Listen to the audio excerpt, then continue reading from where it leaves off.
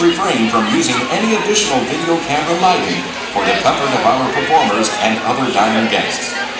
We hope you enjoy the show. This is going to be amazing. amazing. Ahalo.